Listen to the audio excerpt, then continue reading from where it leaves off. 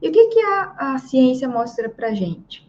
Que realmente a gente tem uma escassez de lembrança de coisas que acontecem com a gente, né, do nosso registro autobiográfico, por, aí por volta dos, dos cinco anos. Esse fenômeno se chama amnésia infantil, que é a falta de memória é, decorrente aí de alguma etapa da, da, de vida que a gente tem ah, nessa, nesse começo da nossa vida. É, o que, que a, a, ciência já mostrou para a gente? Que existe uma relação entre eventos emocionais e não emocionais. E o que está documentado nessas pesquisas?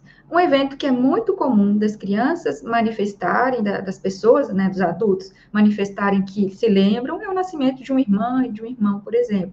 Mas o falecimento de uma pessoa querida também está dentro dessa lista.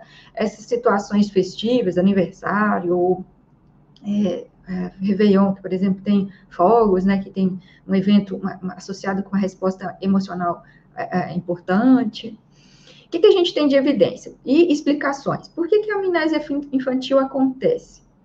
Primeiro, porque a gente tem o que a gente chama de, de, conhecimento procedural, que é o que a gente mais vê na criança, que é, por exemplo, uma brincadeira que ela tem, ela aprende a como colocar um disco de madeira, inserir isso no furo, que é um, uma memória para procedimentos.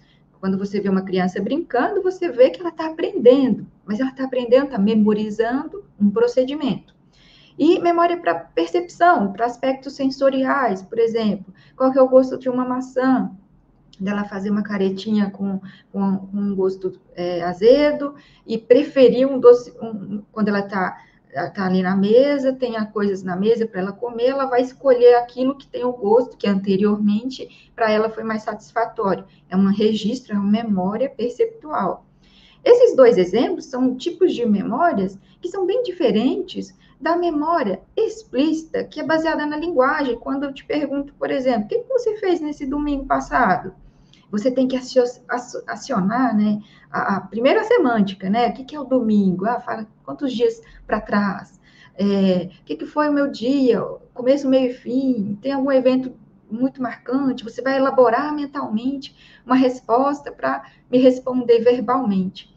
Então, a, a explicação para essa amnésia infantil é que, em termos cognitivos ou neurocognitivos, é uma mente, um cérebro ainda muito incipiente, muito novinho, que ainda não é capaz de utilizar a linguagem para elaborar e conseguir acionar esse conteúdo. É por isso que gente, às vezes é tão difícil lá, quando é vida adulta, a gente conseguir lembrar desses eventos que aconteceram na nossa vida.